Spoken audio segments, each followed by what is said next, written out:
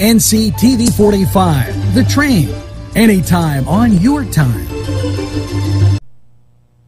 Today's programming is brought to you by NCTV 45 and NC Radio 450, Newcastle's community television station.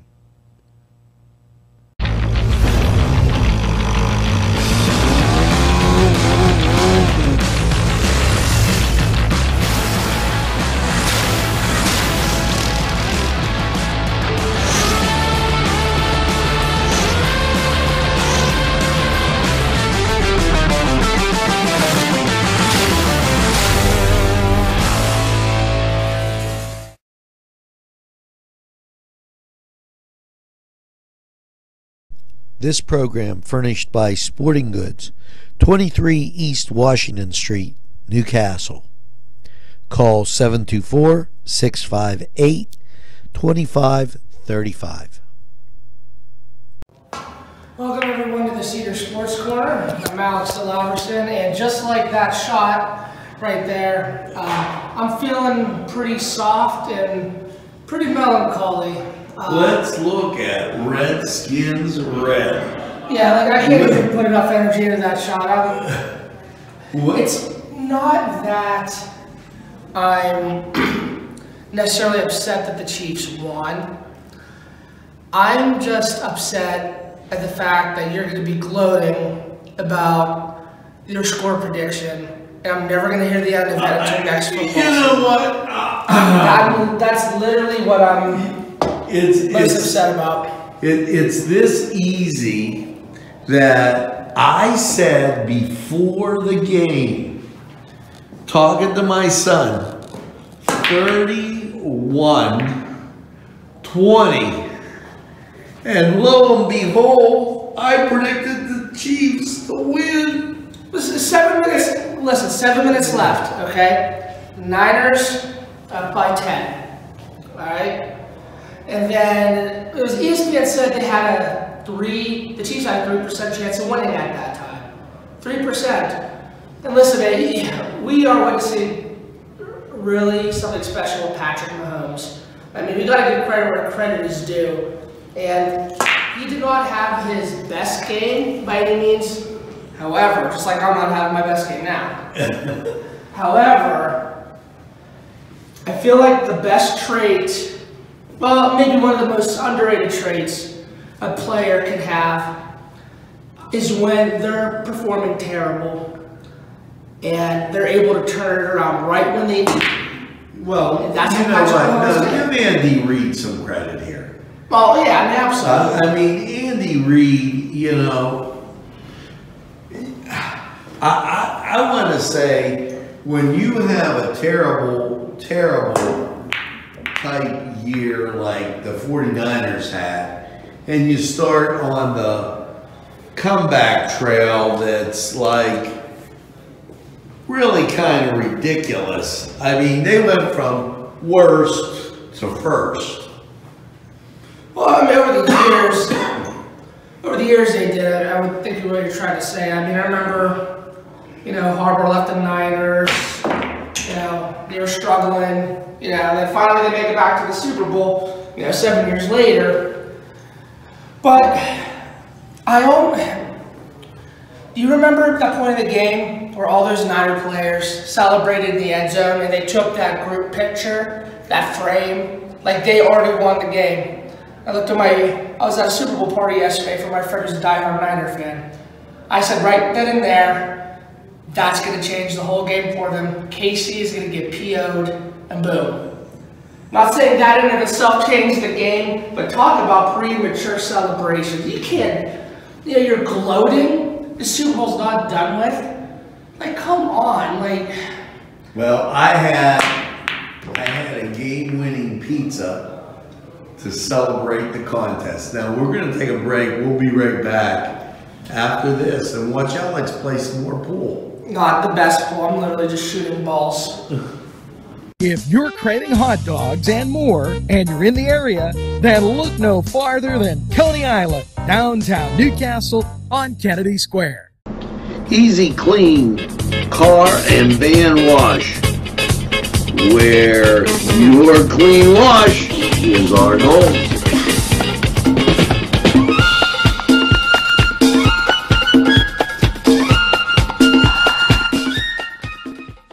This program was provided through funding from Cedars Restaurant in Newcastle, Pennsylvania.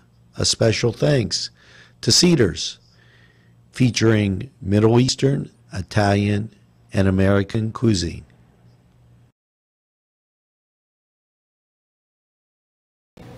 And we're back, and um, I know you want to talk about something other than right now. At least I well, I'm, I'm having an issue.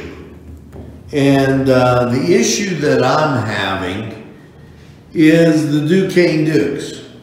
And first of all, if you're wondering where we are playing pool, we're in the beautiful Majestic. And uh, I just wanted to show you what that pool room looks like, and it is great. Now, the Dukes, this is the umpteenth million season where they start off like a house on fire. And then get to February and fade faster than the winter snow. Well, here's the deal. There's a, obviously a few reasons for that. You know, conference play, competition gets tougher, but also, man, you have to realize how many games each team plays. So you're gonna have your stretches where you're not, you know. Yeah, but they can't afford to stretch Well, to, yeah, to that's you know, I mean, you'll, you'll look at fifteen wins and then you drop five in the last two weeks. Well, see, and you know, we were talking about that in one of our previous shows, you know, and it, it's just so hard when you're a school with that's not from, I would say, I would call power conference. So, yeah, losing five games in a row, you pretty much do bury yourself and knock yourself out of contention unless you win your conference tournament. That, that's over like two weeks. Yeah, you know, And that's just not, uh, one of the things that you wanna do. It, it's, a- it's a very dangerous type situation. Now, the team that is coming on in Pittsburgh, if, if I would, is the Pi- Pittsburgh Penguins. oh, you're not going to say the Pitt Panthers had a good win yesterday over Miami. They're coming around. Listen, Miami's, Miami's a bubble team at best. I don't see them making a dance. well, for what Pitt was a couple of years ago, eight total wins, zero wins in the conference, too. There's discussion of them possibly making the tournament. I say, you know, Jeff Capel, you're doing a good job, man. You're on the right track. And then hopefully he doesn't take the Duke job in a few years, but yeah, maybe I'm jumping the gun there. But, you know, as, as far as goes. Well, when do you think Krzyzewski is gonna call it quits? Oh, well, listen. He's he's a he doesn't he doesn't want to do it anytime soon. I feel like Yeah, but you, you know, here's the thing, Jim Satalin, coach at St. Bonaventure, ended up going to Duquesne. He says, you have to realize when you've taken them to a plateau and you can't go any higher. And my question is, has that happened in North Carolina with the Tar Heels? Well, I mean, look, they're having They're having, uh, they haven't had a year like this in some time. well, I mean, think about out of how many years, decades, or whatever, they have one season where things are just not meshing. You know, I'm not gonna. If I'm a North Carolina fan, I don't have the panic button just yet, but you know, Pitt swept them this year. Yeah. So even though North Carolina's not their best year, you know, you still could say you swept you swept North Carolina. So, um, I I don't know. The ACC's not that good this year compared to previous years. So this is a year Pitt can, you know, just make some strides, man. Listen, they got what at least ten games left. If they win six of their last ten, then that's twenty wins right there. Good for Pitt.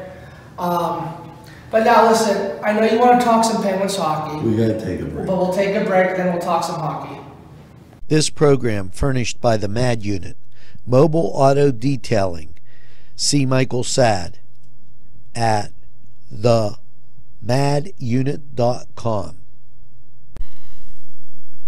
These fine businesses provided funding for this program. Gatherings, Town and Country, and On Target. Hello, friends.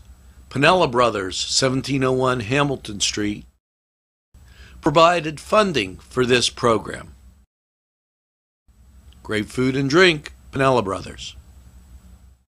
We're back, and uh, it's a hockey. It's hockey time, and um, what I mean by that, obviously, college basketball is still going on, But the Pens are winning.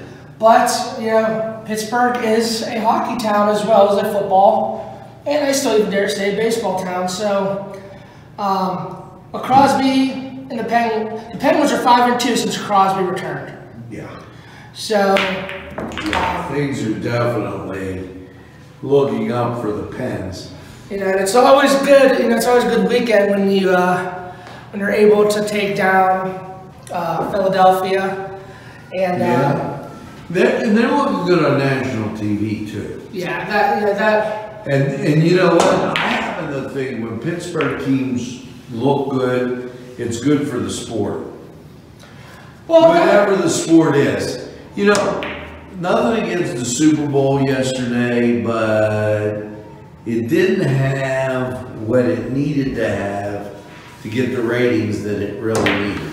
well, I mean, obviously with the Super Bowl, um, you know, commercials and the halftime show.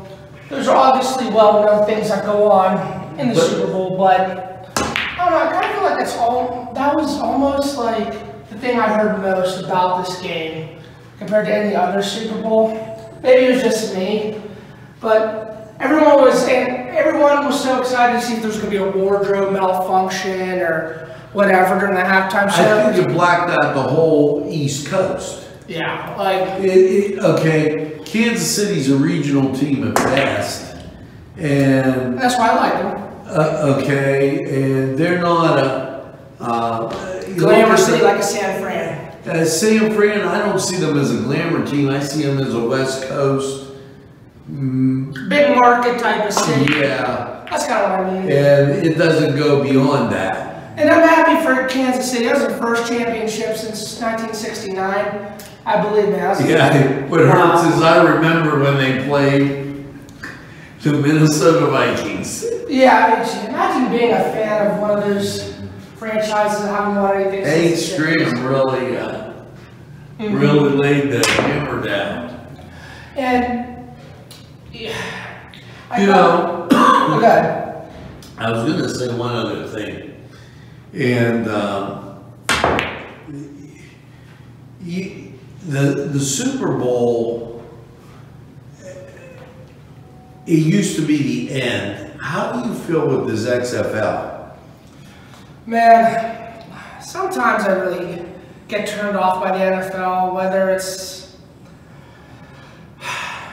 political stuff going on or, you know, I feel I- like the refs are doing a terrible job or, you know, I feel like the game is being degraded because of rule changes.